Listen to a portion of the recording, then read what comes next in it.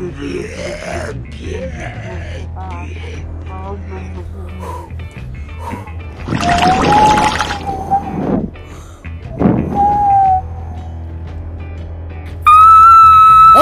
let's get up.